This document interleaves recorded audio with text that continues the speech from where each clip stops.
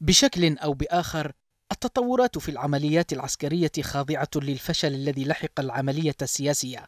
وبعد أسبوع من إعلان توقف المشاورات في الكويت يواصل طيران التحالف العربي غاراته بشكل غير مسبوق ضد معاقل عسكرية تابعة لميليشيا الحوثي وقوات الرئيس المخلوع في العاصمة صنعاء وعدد من المحافظات. أما في محافظة المحويت استهدف الطيران معسكر الأمن المركزي الذي تسيطر عليه الميليشيا. وفي محافظة تعز قصف الطيران بسلسلة غارات مواقع ومخازن التموين العسكري بمفرق ماوية. كما واصل الطيران قصف مواقع للميليشيا في المعقل الرئيسي لها بمحافظة صعدة.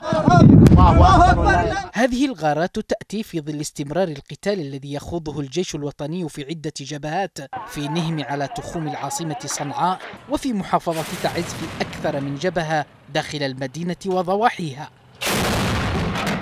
تسير كل هذه المراحل في إطار العمل العسكري لغارات التحالف من السماء وخوض المعارك القتالية على الأرض لإيجاد طريق إلى صنعاء والنفاذ إلى معقل الانقلابيين صالح وجماعته وحلفائه.